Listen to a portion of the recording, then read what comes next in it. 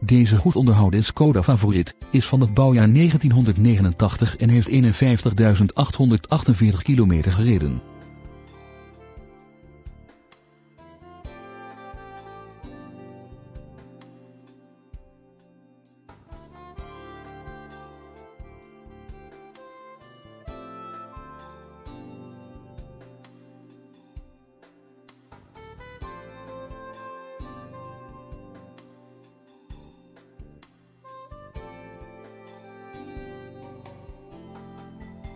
De Skoda heeft een benzinemotor, die wordt bediend met een handmatige transmissie.